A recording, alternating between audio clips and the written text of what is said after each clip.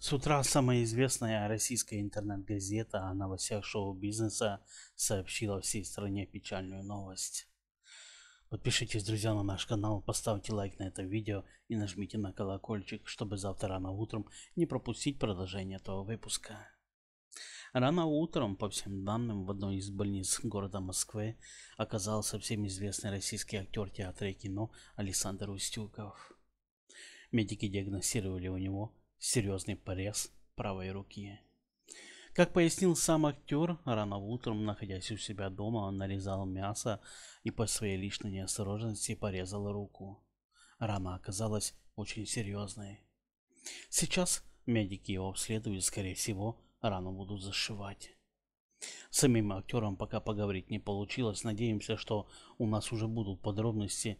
И уже завтра рано утром мы постараемся вам, дорогие наши зрители, более подробнее рассказать об этой всей трагедии.